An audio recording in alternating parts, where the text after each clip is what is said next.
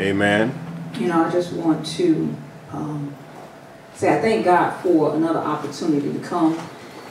You know, I I kind of got the tail end of Sonia's testimony, but um, what I thank the Lord for is that I had the opportunity of talking to my sister on yesterday and to just hear her say things that she's never said before. When you have an encounter with the Holy Spirit, it breaks down all those barriers and all of that false stuff in you and all that pride and all of that trying to save your identity and save your name and look good before people. God has a way when he, you have an encounter with his spirit of breaking all of that stuff down and then letting the real you show forth. And so for me, eh, I thank God because she said, no, I'm not putting no more blame on nobody else. Everything I did was my own fault, my own choosing. And so, you know, that that is appropriate because today our lesson is, as you can see the title is, Why Are You Salty? Why are you salty? And I want us to talk today for a little bit about where God wants us to go.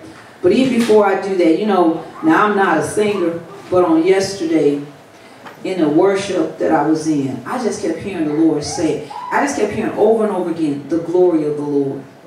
And I just began to kind of sing in my own head. But it was just like, Lord, bring your glory.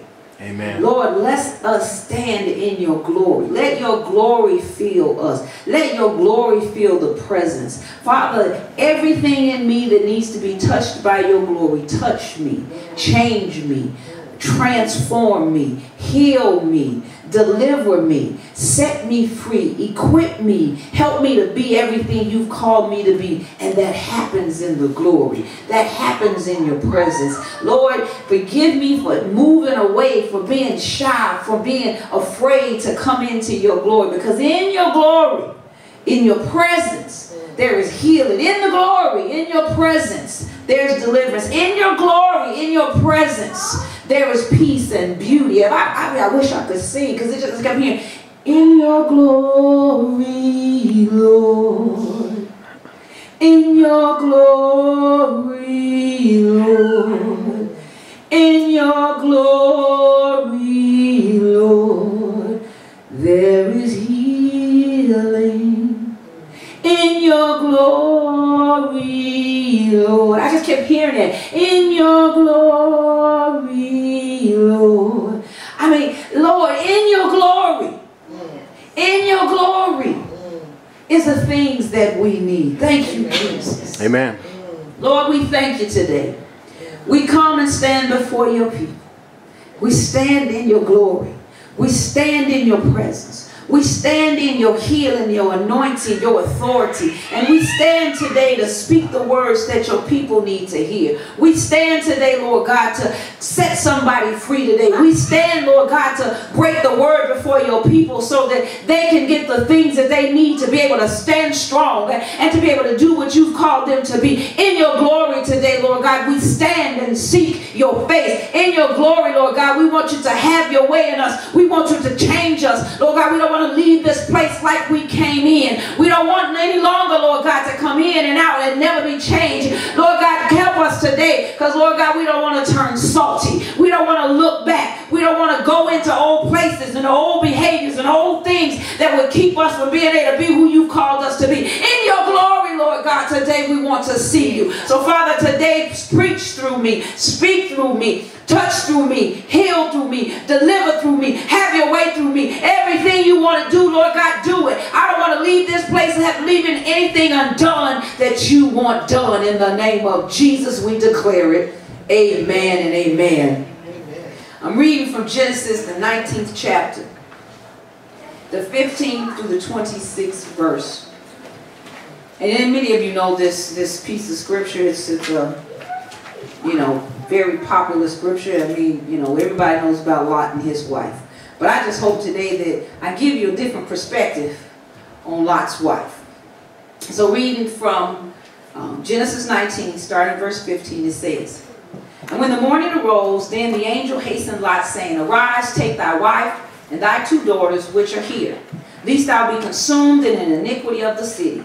And while he lingered, the men laid hold upon his hand and upon the wife the hand of his wife, and upon the hand of his two daughters, and the Lord being merciful unto him, and they brought him forth and set him without the city. And it came to pass when they had brought them forth abroad that he said, Escape for thy life.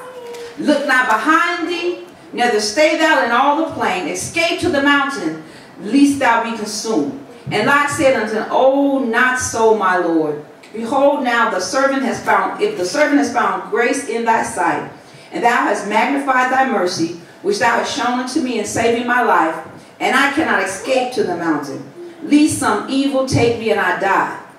Behold now, this city is near to flee unto, and is a little one. Oh, let me escape thither. Is it not a little one? And my soul shall live. And he said unto him, See, I have accepted thee concerning this thing also, that I will not overthrow this city for the which thou hast spoken. Haste thee, escape thither, for I cannot do anything till thou be come thither. Therefore the name of the city was called Zoar. The sun was risen unto, upon the earth when Lot entered into Zoar. Then the Lord rained down upon Sodom and upon Gomorrah brimstone and fire for the Lord from the Lord out of heaven. And he overthrew these cities and all the plains and all the inhabitants of the city that which grew upon the ground. But his wife looked back from behind him and she became a pillar of salt. Let me read one other scripture. It's Luke 17, 32. It's one verse. It says, remember Lot's wife. Amen. Thank you, Lord, for the reading of his word. Now let me just give you a little bit of background. You know, many of you know I'm a storyteller, so I got to put it in perspective. I want you to kind of get the picture. Going back to Genesis 18, we see in Genesis 18, and I didn't give you the scripture, but I'm just giving you the overview of Genesis 18. This is when God visits Abraham. The angels of the Lord are walking with Abraham, and God is speaking to Abraham about his desires. And if you look in that chapter, of Genesis 18, 17, one verse, it said, And the Lord said, Shall I hide from Abraham the things which I do? So God, I mean, Abraham sort of had such a relationship with God that God didn't want to hide from him the things that he was doing. So God was going to, at this point, begin to reveal to Abraham the destruction that he was getting ready to bring on Sodom and Gomorrah. And so we see that also in, in 18, in verse 20. And it says, And the Lord said, Because the cry of Sodom and Gomorrah is great, because their sin is very grievous. And in 21 it says, I will go down now and see whether they have done altogether according to the cry of it, which has come unto me, and if not, I will know. See, God was talking to Abraham. And I, I, needed us to see this about Abraham before we could really go in and look at the scripture that I said. And so what happened? Immediately when God tells Abraham what he's getting ready to do, what, what does Abraham do? He begins to intercede. So he began to say, God, will you save the city? He said, will you save it for 50? And they have this dialogue. He said, okay, well, that's good. Will you save it for 40? Or will you say, he eventually got there and said, will you save it if it's for 10's sake? And so the point that I want us to look at even as we go forward is, you know, some of us were in our own Sodom and Gomorrah. Places where God said, your sin is so grievous to me, I'm going to destroy it. I'm going to destroy the place where you dwell. I'm going to destroy all the inhabitants. I'm going to destroy your Sodom and Gomorrah. But in Abraham, a person, a father-like figure, a father or a mother, somebody had a father's heart, a mother's heart said, no, Lord, because you and I have fellowship, because you listen to me and you tell me your plans, I'm coming to you and I'm asking, would you intercede? Would you have mercy on this place? For 50. Okay, maybe it's not 50, but even down to the 10, would you have mercy on this place? And so God says, okay, I'll do that. But, but the sorry part about it is, he didn't even find that many in Sodom. He didn't even find that many. How many people have been interceding on our behalf and saying, Lord, would you save that individual? Maybe they got four good qualities about them. Or maybe they got one or two good qualities and God can't find them. He can't find no good qualities about you. Why? Because you don't want to do that which his son came to help us to do. He looked at your sin and it was so grievous that he said that destruction is coming.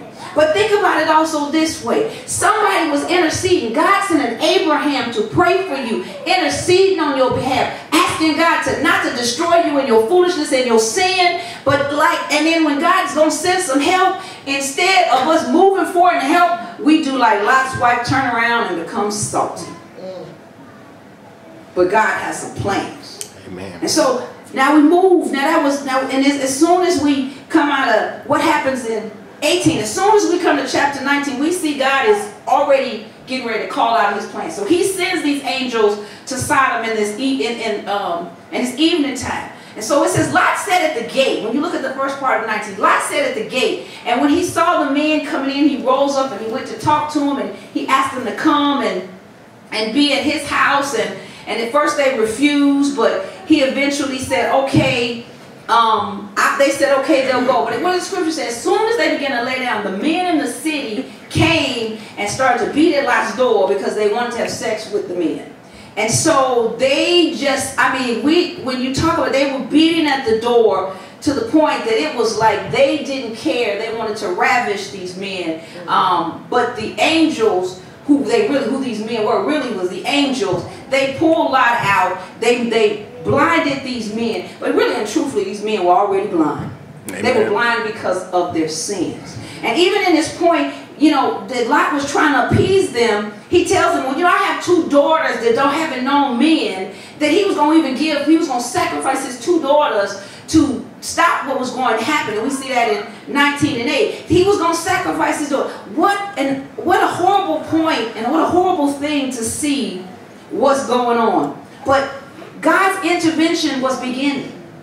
God sent the angels to bring about his justice on the, in the city. And I want us to look for a minute. Lot is sitting at the gate. So he saw who went in and out. But nowhere in scripture do I see that Lot was bothered to even be concerned about what was going on in the city. On the other hand, we have Abraham who said, Lord, wait a minute. Because me and you are in fellowship. I'm walking with you and talking with you. We're in fellowship. And you took the time to tell me about what's going on in the world and in the situation. And what did I do? I interceded. I began to pray. But nowhere do it tell me that Lot saw this grievous things in Sodom and Gomorrah and did anything about it.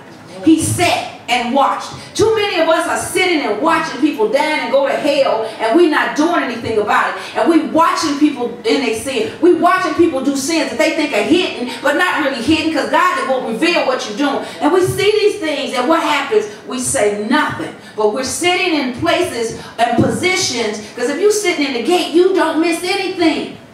God says, I need some people that are supposed to be gatekeepers to really start keeping the gate. If you're in the gate, you're supposed to be watching to see are the people coming in and out and are they doing what I've called them to do. And if they're not, you begin to intercede. You begin to pray. You begin to fast. You begin to seek what it is that I want to happen in that place. But it didn't appear that Lot had any concerns about that. He stayed there. He built a residence there. He took up roots in a place of wickedness. Many of us find ourselves and our families in our own Sodom because we've settled in, we've become comfortable with the conditions, instead of making them a matter of prayer. And when we don't, what happens is we find ourselves with our families being destroyed. We find ourselves where things are coming in and what we wanted to be and who we wanted to be have been changed because we've allowed the conditions of the sin to take over. Amen. See, then that leads us to where we were today, our scripture today. And the angel couldn't find 10. So what happens? The city is set to be destroyed. However, God still in his mercy is going to save Lot's family. And he tells them to leave quickly. See, I just a note, let me just pin a note right there for you. Some of us think that we got saved or that our lives are changed because of what we did. You were too ignorant. I was too ignorant to even know how to pray for myself. But God put us on the heart and mind of somebody else that was praying for us. That saw that we was walking around in Sodom and Gomorrah and fine with the condition, fine with the, the elements, fine with the lifestyle, even if it was grievous and sinful to God. But somebody put, God put us on somebody's heart and said, pray for them. And because of your prayer for them, I'm going to step in and lead them out of Sodom. I'm going to lead them out of their sin. I'm going to show up in their situation. They're going to give them an encounter with me so that they can be changed. And so God was merciful. And so he tells the angels, tell them, okay, run out of here, go run to the mountain. But, you know, so you could be saved. But Lot says, well, no, um, that's too far. Let me go to Zorah. That's quicker, and, and then I won't be destroyed. Well, it's some, it's some significant points that we want to look at. So what's the point I want to make from this piece of scripture? Well, God had been merciful, as I said. Not because he deserved it, but oftentimes it's because of someone praying for us. You and I are in these places because somebody prayed for us. You know, there was a song, it's like somebody's praying for you. You know, somebody's on their knees praying for you. Your grandmama prayed. Your mama prayed. Somebody prayed for you and saw you through. Somebody was interceding on your behalf and asking the Lord to save you. And in his mercy, he tells you, he says, okay, here's the help. God shows up himself to, his, to your situation. He tells you what? Run to the mountains. What does the mountain represent? Well, mountains mean going to an elevated place so that you can be saved.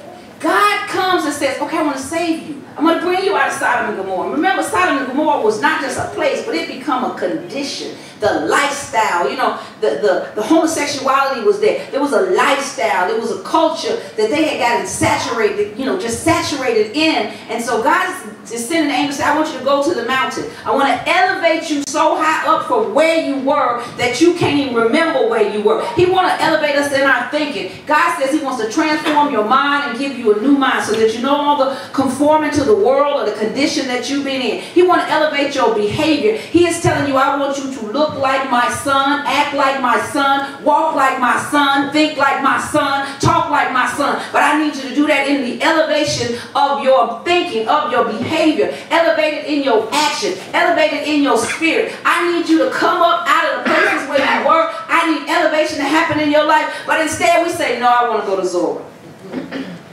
The mountain is too far. That's too far to go. How many of us fall short of getting to the elevated place God wants us because we are scared that we go, it's too far. It's too much energy. It's gonna take too much. I might have to give up too much. I don't want to. I don't want to make all those sacrifices to go to the mountain. So I want to go to Zora. Zora means to be to grow insignificant or small. It is comparable to being small or insignificant. In other words, God is saying, I want you to go elevate you to the mountain and you want to settle for small. You want to settle for insignificant. You want to settle for some place that I never meant for you to be. You want to go someplace and be isolated or, or, or to get lost because you were too lazy to make the journey to get to a place that I will save, save you. To me, I'm thinking, I don't care, you know, I don't care if it was 10 blocks or whatever. To me, I'm like, he's gonna rain down on Sodom and Gomorrah. And he's going to burn it up.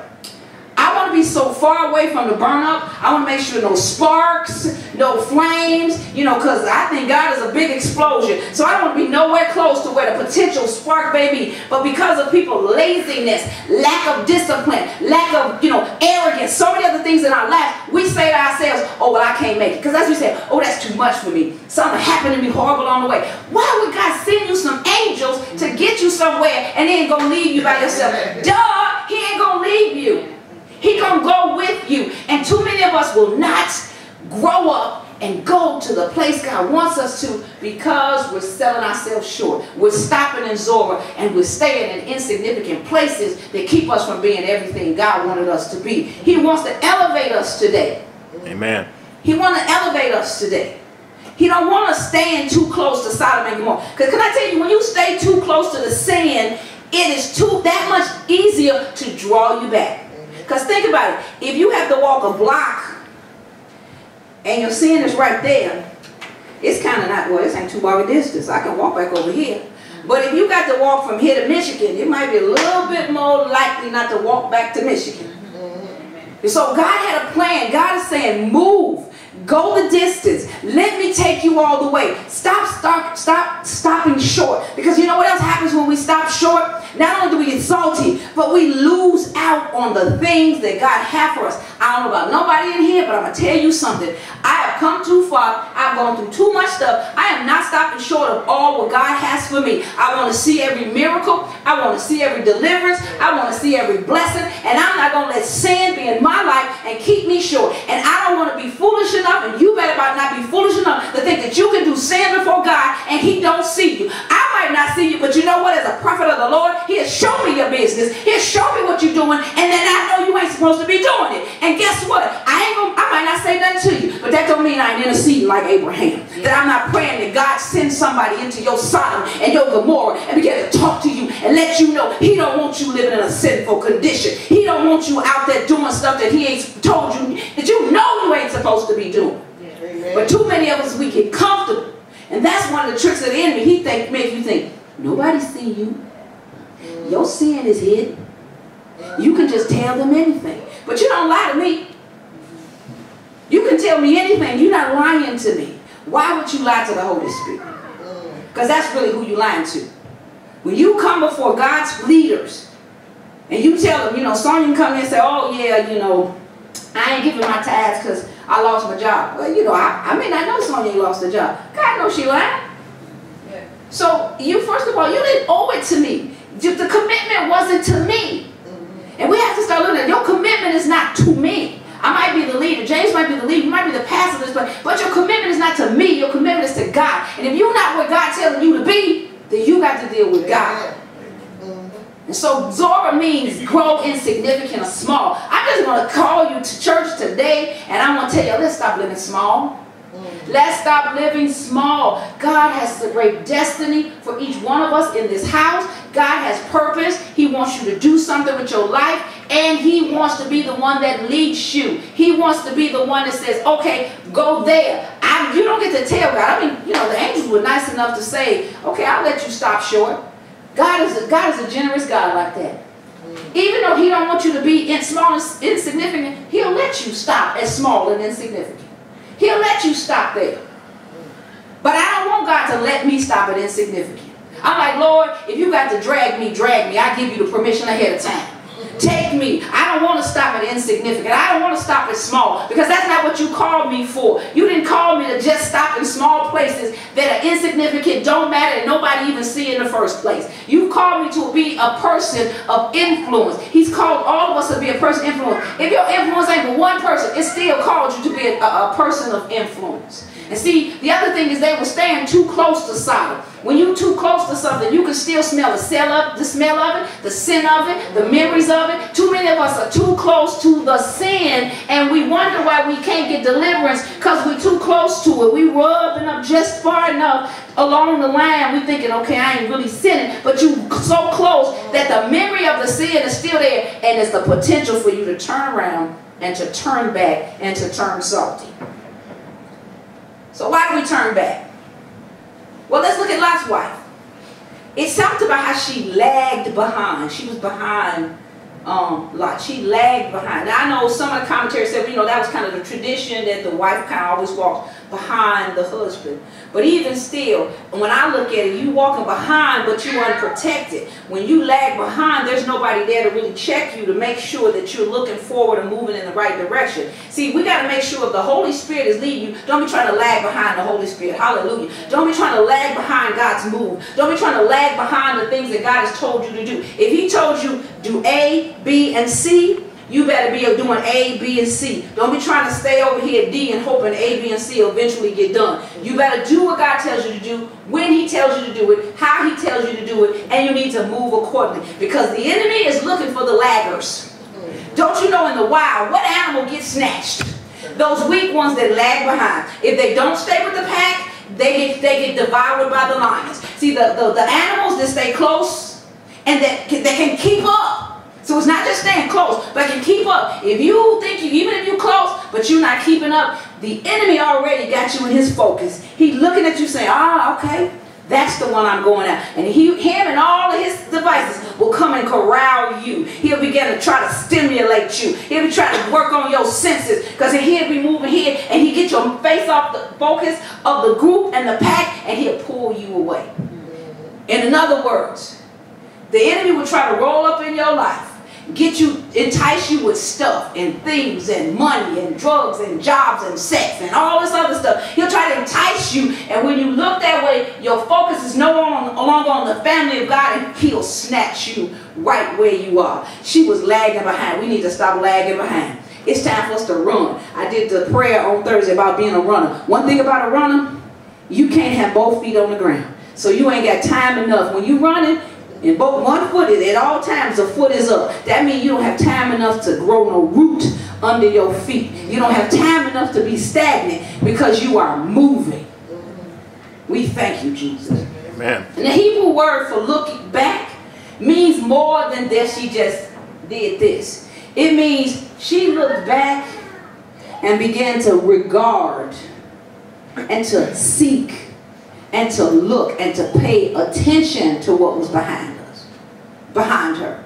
Sometimes what happens is when we look back and we become salty is because our focus then is not on what we should be going and what we should be doing, but on what we left behind. And so what did she leave behind? Well, you know, I've read the scripture many times, and I know many of you did. Maybe I might be a little more scholarly and smarter than I am. But you know, when you read the scripture, what did it say? It said they grabbed Lot, his wife, and their two daughters. She had more than two daughters, though. She had more than two daughters.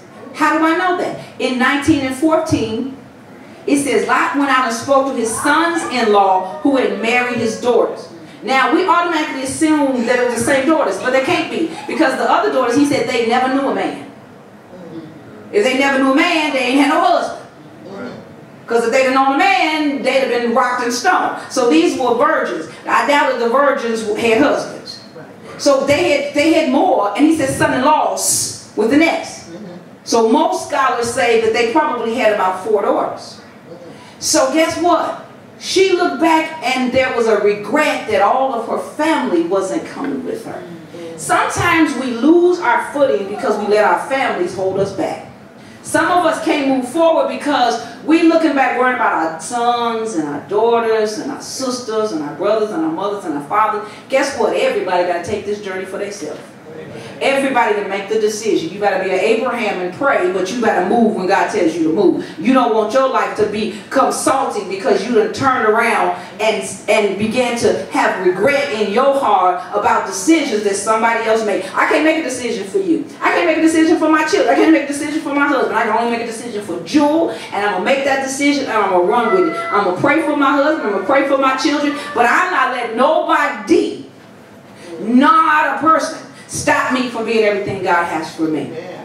And that oftentimes is we look behind and we let our families and, and our relationships, and it might even be your natural family, but it's relationships. We let relationships that we attach to. And some of these relationships, God done told us to let go of a long time ago, but we ain't let go of them because they, they, they, they right here. We done been so close to them. See, we've been so close to these Sodom and Gomorrah relationships that we don't know how to let go of them. We're afraid if we let go of them, like, like Lot was. He was afraid to go to the mountain because he thought he would get weary in the process. Some of us can't let go of what's behind us because we're afraid we're going to get weary in the letting go. We, we start thinking, I'm going to get lonely, or I'm not going to have this, or who going to be my man, or who going to be my woman. We start worrying, am I going to have enough money if I leave this job that the Lord told me to leave? Am I going to be able to do this?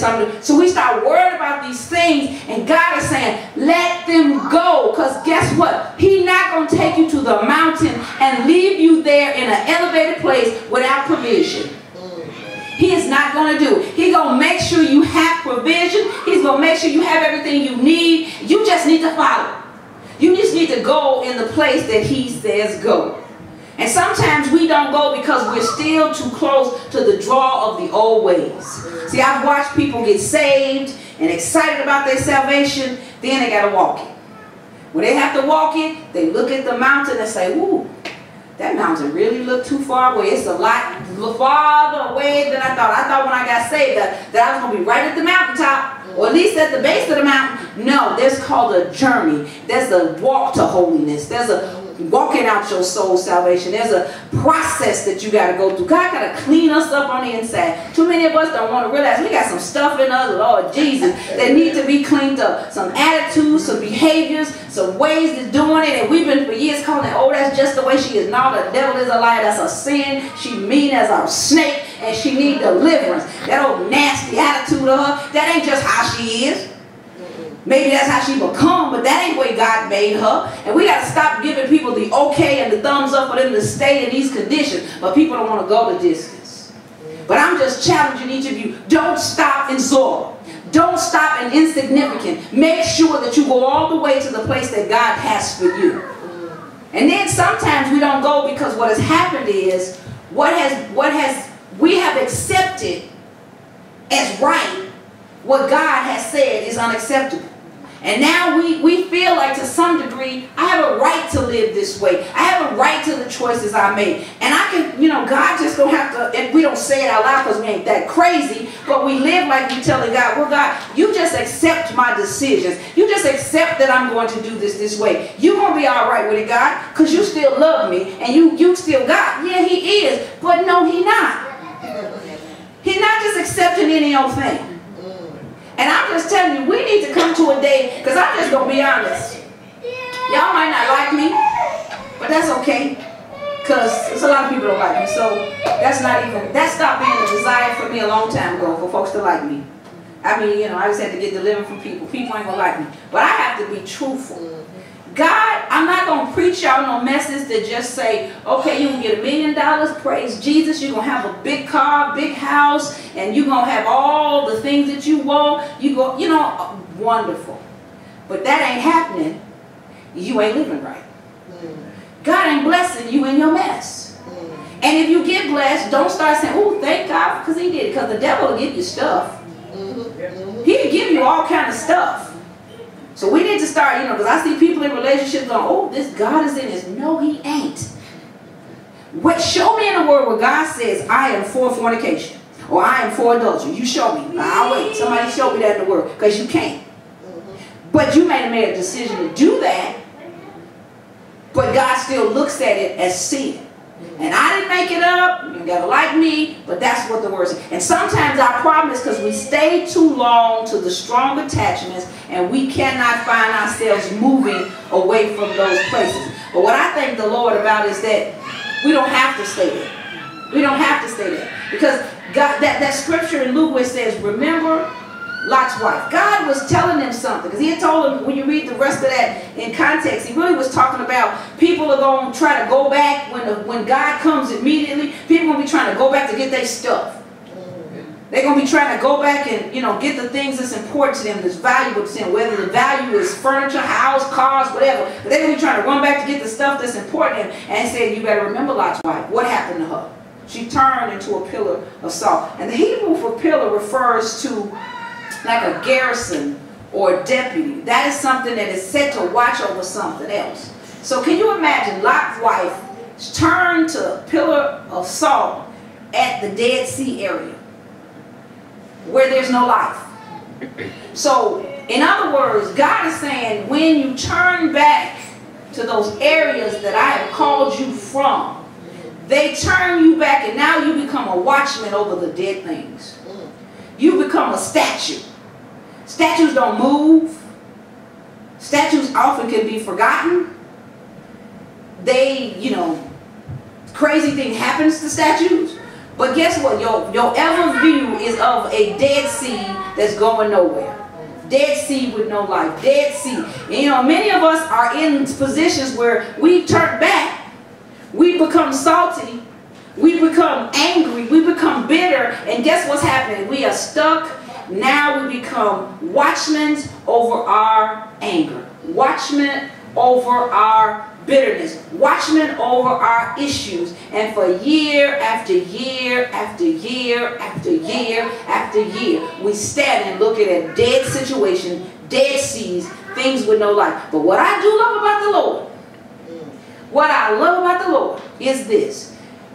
Lot's wife, that was it. She didn't get an opportunity to turn. But because of Jesus Christ, you can get an opportunity. I can get an opportunity. We don't no, longer have to be stuck looking at our dead situations. We can come to a place where the Lord will deliver us. We can come to the place where God can set us free from some stuff. I don't care the stuff you had from birth. If you want to let go of it, you don't have to be salty. You don't have to be stuck in a place of death. You don't have to be stuck in a place where you're not growing. You don't have to be stuck in a place where your only visual is of a dead place, of a dead condition. And some of us are looking at all this dead stuff because of what we don't want to let go of. And my question to you is, why are you turning back? Why are you getting salty about it when God told you that's the way he didn't, he didn't want you there? Why are you turning back? Why are you turning back? God said, why are you turning back? Why are you turning away from the salvation that I put in your life? Why are you turning away from the miracles that you've seen? Why are you turning back from the blessings that I have from you? Why are you turning back? He said, stop turning back and move up to the mountain. Stop trying to settle in Zoar in a place of insignificant, a place that does not hold your destiny, a place where there's really nobody there. That's why it's little. Don't nobody want to be in Zoar. Why are you trying to make your fit in a place that God doesn't want you to be in the first place? He said, move forward, move out, make it to the place of the destination that he got for you. Climb the mountain. Yes, it's going to take some work because you and I can't climb the mountain. Some of us can't hardly worship long enough because we out of breath. But God said you're going to build up not only your physical body, but he said build up your spiritual body so that you can run this race without getting weary. You can run this race and not give up. You can run and not get weary. And if you get weary, he going to raise you up on wings of eagle and you will learn how to soar. So even though you might get tired of running, stop running and fly. If you might get tired of going, you know, this way and you can't see because it's dark. Because some of us say, well, Lord, maybe I'll go, but it's dark now. I don't want to move. He said, that's all right because if it's dark, I'm your path, I'm your light at your feet, and I'm your light at your path. Why? So that way when you go and I can see you, you can see where I'm standing, and you can see where you need to go. God is saying, get up. Get up. Get out of here quickly. Because he lied. If you go back, lied that even though they told him I'm getting ready to destroy the city, the angel had to snatch him by the arm and drag him out. How many of you got to be want the Lord got to keep dragging you out of sin? He got to keep snatching you out of the, the, the, the grips of the devil.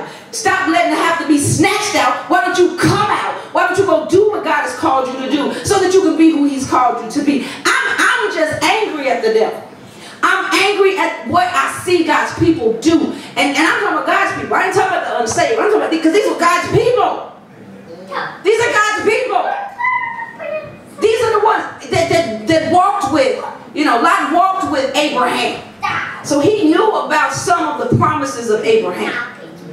He, he was Abraham's nephew. He saw it. He had some visual of what it looked like to be godly. So he didn't not know anything. Some connection. Too many of us had a little connection and then we think we got enough to go on off on our own. I can do it on my own. I got it together. You ain't tell me nothing. You can't tell me because I got it. If God don't speak to me, I ain't listening to you. That's foolish. Because God will talk to you, but God talked to you in different ways. He talked to you through the word. He talked to you through your spirit. And he talked to you through your leaders. He talked to you. He'll talk to you through a child. He can tell that child right now to stand up and say something, and she'll say it, and it'll be him speaking. You can't say, well, that's just Lanaya.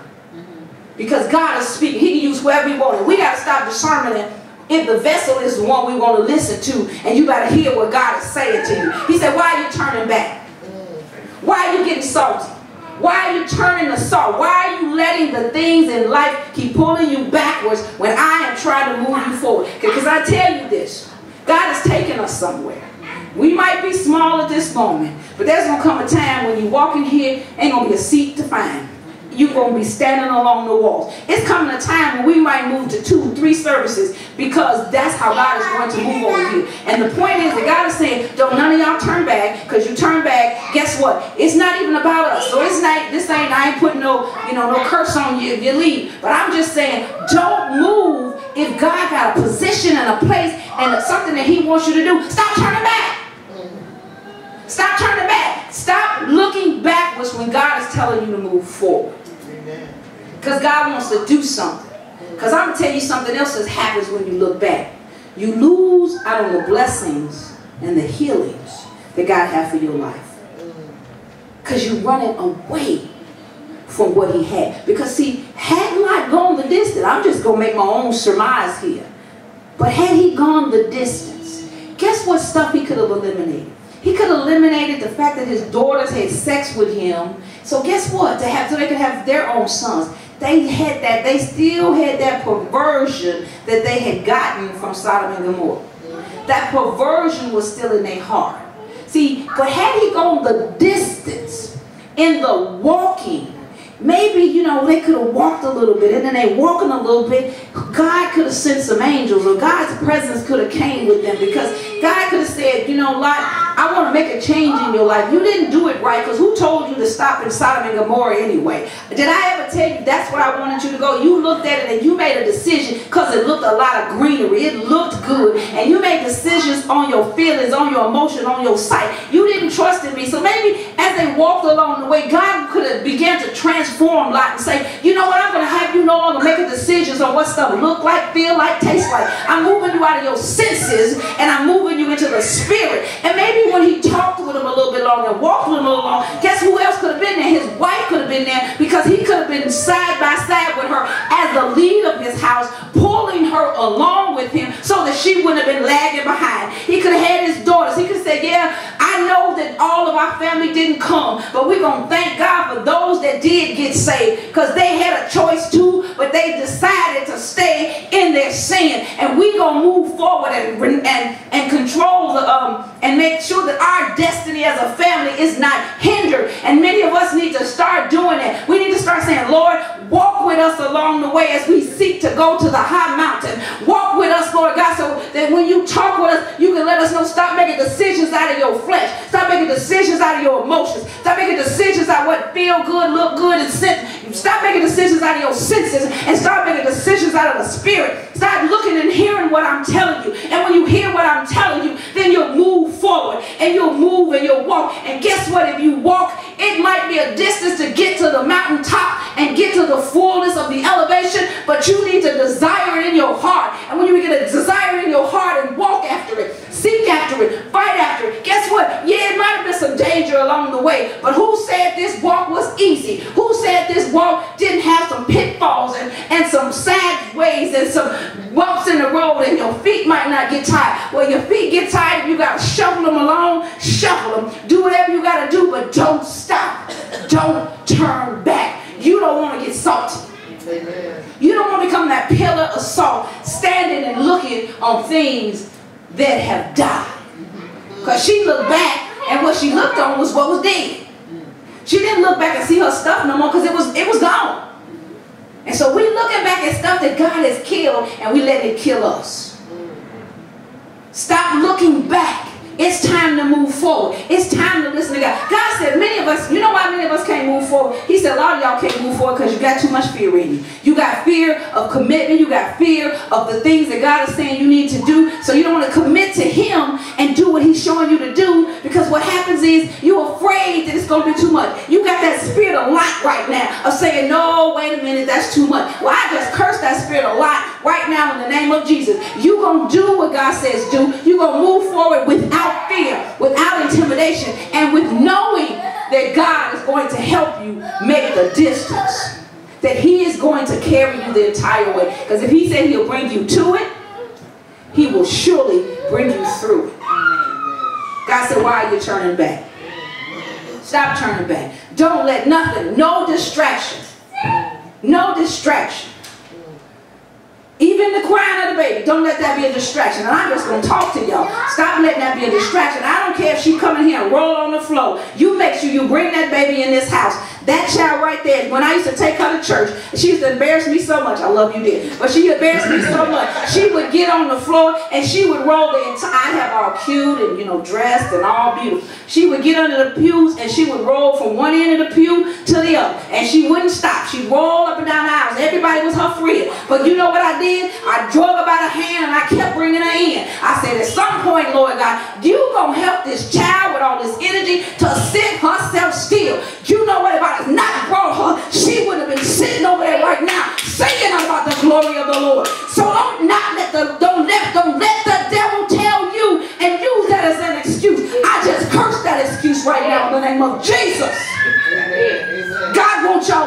place. I didn't ask y'all to come. He sent you here. Yes. Amen. He said, stop turning back. Stop moving away.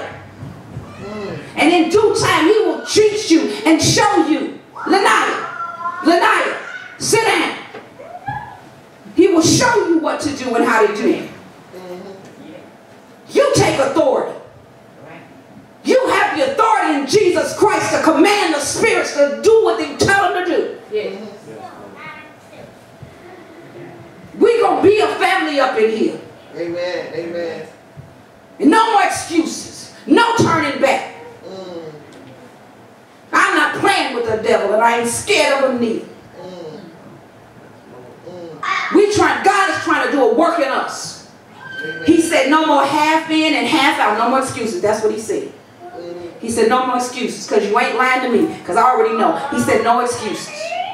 Y'all show yourself up in here. Every last one of y'all.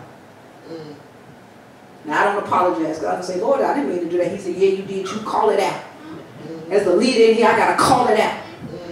And I'm calling out that spirit of this fluctuating, this back and forth. We ain't fluctuating. We standing strong. We moving forward. Because one of the things that I want y'all to know is we're going to be a healthy family. Every last one of us in here. We're going to be a healthy family. We're going to be the family God has called us to be. Now, we all make decisions. But my, my point to you today is don't turn back. Don't turn back. Don't turn back. Don't let fear turn you back. Don't let guilt turn you back. Don't let anger turn you back. Don't let frustration turn you back. If that stuff bother you, you better drag yourself in here and put yourself in this little bit of altar we got and ask the Lord to say, Lord, have your way in me. Because I don't want to turn back. I don't want to be salty. I don't want to miss my blessing. I don't want to not be where you want me to be. I'm going to the mountain. I'm going to be elevated to the place where you called me. And I'm going to be all that you called me to be. We're not going to be salty. Amen. We're going to be people filled with his spirit, walking in the power and the authority of Jesus Christ. Mm. Now I'm going to do an altar call. Mm. There's some of us that need to say, Lord, let me repent because I have not, even if I haven't physically turned back, I have been turning back in my mind. I have been going back to old ways. I've been going back to old habits. I've been going back to old thinking. And today we finna kill the turn back. We finna slay the turn back. Because no more turn back. We finna put a knife in it. I'm pulling out the sword. We finna cut his head off. And we gonna not turn back no more. We making up our minds to move forward. We making up our minds to be unmovable. We making up our minds. I don't care how hard it is. I don't care how difficult it is. I'm not turning back. I don't know what this is going to carry for me in the future. I don't know what the mountaintop going to look like. I don't know what the journey going to be. It might be hard. It might be difficult. I might lose some folks on the lawn. And God said, some of the folks you might need to lose. Hallelujah. He said, but move, move, move. We going forward. No more turning back. Won't you stand with me? We ain't going back. We're not going back. So whatever, I don't care what it is. I'm, let's just be right. Let's be honest right here. Um, we we gonna we gonna ask for prayer, and I want you to come forward if you need prayer because you saying, Lord, I made a decision, but I have been back and forth. I don't want to be back and forth no more. I want to move forward with you. God is asking.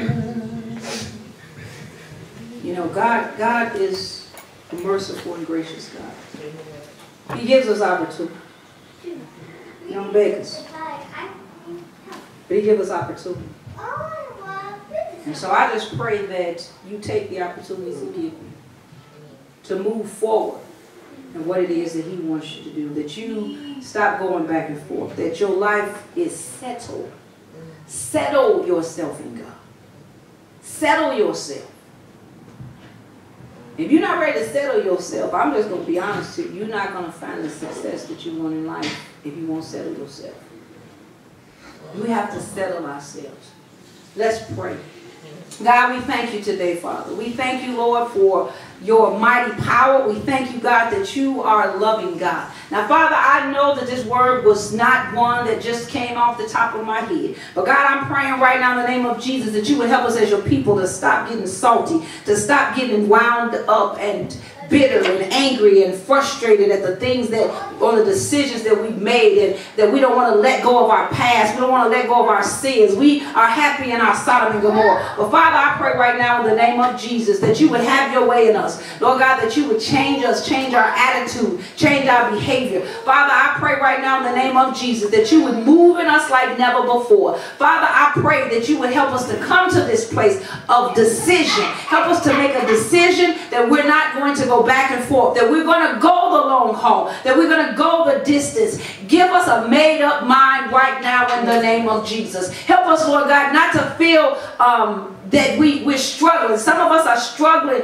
with trying to walk out our salvation. But I'm asking for the strength of your people right now in the name of Jesus. I'm asking, Lord God, that you would touch our young people, that you would touch everyone in this congregation, that you would help, Lord God, your people to make the decision to move and to do what you've called them to do. We pray against every spirit that would try to entice your people. We pray against the lying spirit, the deceptive spirit that tries to come in and move us and make us think that it's okay with the things we're doing, that draw us away from you. But Father, now in the name of Jesus, I speak and pray, Lord God, that you would help us to be holy because you are holy. Give us a desire to live holy lives. Holiness in our thinking, holiness in our doing, holiness in the things that we say and the places we go. Holiness, holy, because you are a holy God. So Father, just have your way right now in us in the midst of your people. And we just declare, Lord God, that we will do and be all that you called us to be. Father, we thank you right now in the name of Jesus. Lord God, I ask you to touch your people. I ask, Lord God, that you would raise us up. I ask, Lord God, that you would help us to be what you've called us to be, that we will not turn back. We will not move out of the pocket. We will not move out of the line that you have for us. I speak blessings over our children today. Lord, even help us to be the example we need to be so that when our children see us, they will want to follow after us. Help us to be the example, Lord God, because if we have got a, a, a faulty example, then we can't expect them to have the right example or to make right choices. Help us to make right choices before them so that they can see how to make right choices. Lord God, help us to be like Abraham was and to intercede on behalf of your people, to cry out to you when we see our loved ones and let help us have a mother in spirit, a father in spirit, desires no one to be lost and no one to suffer, that no one to be out of your will. So Father, help us to pray them and to help them so that you will send your spirit to send mercy on their lives. So Father, we thank you right now. We bless you in the name of Jesus. Amen. Amen. God bless you.